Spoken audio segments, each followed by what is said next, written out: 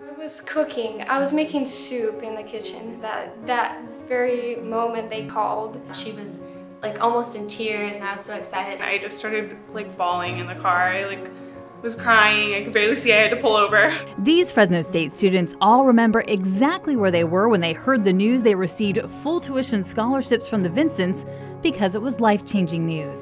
I just want to completely immerse myself in all the activities that I can be in. Now Abigail Carlson can be involved in all the programs she loves and build a resume for grad school without worrying about debt.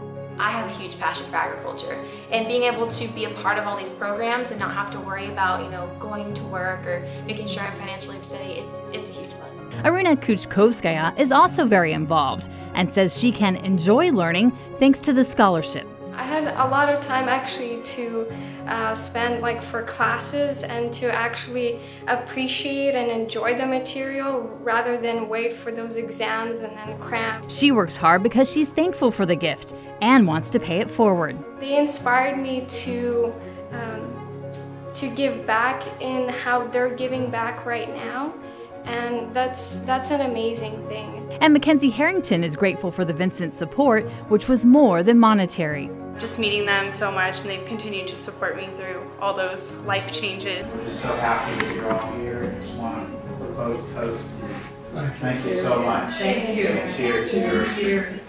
Mackenzie's grateful for the times they get together throughout the semester and the unique experiences. We've gone to a basketball game in the President's um, box or skybox or whatever they're called, which was cool. I mean, that's like something I never would do on my own. I think they've become part of our family. Yeah. Dr. Paul and Cathy Vincent started supporting one student in 2006, but there were so many qualified students, they grew the scholarship for full tuition and books to nine students.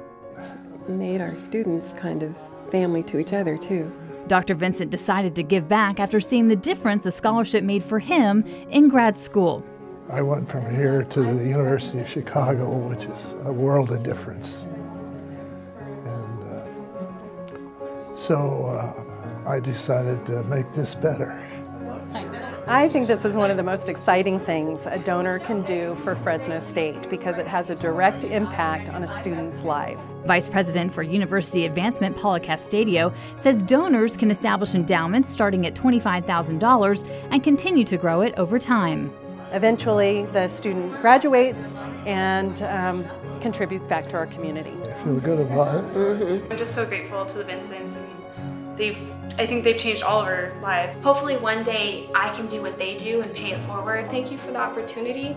Um, I couldn't have made it here without your help and I want to do big things and give back just how you guys gave to us.